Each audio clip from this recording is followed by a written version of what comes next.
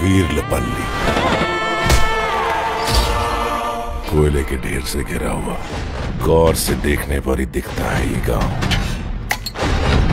Hello तो आइए बात करते हैं नेचुरल स्टार नानी की मच अवेटेड मूवी दसरा के बारे में।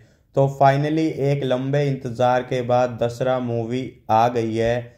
इस मूवी में हमें नानी के अपोजिट नज़र आने वाली है दिग्गोजस कीर्ति सुरेश। हाँ जी one of the finest actress Keerthy Suresh national award winner जितनी भी उनकी मूवीज़ है, उनमें उनकी परफॉर्मेंस सुपर होती है और उनकी जो फ़ैन फॉलोइंग है स्पेशली उनकी जो फ़ैन फॉलोइंग है, वो बहुत ही अच्छी है।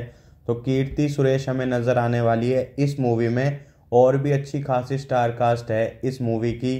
तो फाइनली इस मूवी का जो ऑफिशियल टीज़र है, वो रिलीज़ कर दिया गया है। ये एक पैन इंडिया स्केल की मूवी है तो इसका जो हिंदी टीज़र है, वो भी साथ में ही रिलीज़ कर दिया गया है। तो टीज़र में नानी की जो परफॉर्मेंस है, वो बहुत अच्छी लग रही है लुक बहुत अच्छा लग रहा है।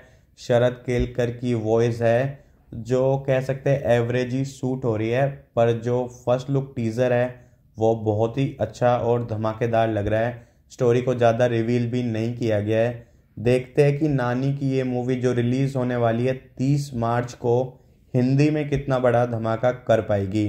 तो आपने दसरा मूवी का टीज़र देखा है तो आपको टीज़र कैसा लगा? और आप इस मूवी के लिए कितने एक्साइटेड है? हमें अपनी राय कमेंट सेक्शन में ज़रूर बताएँ।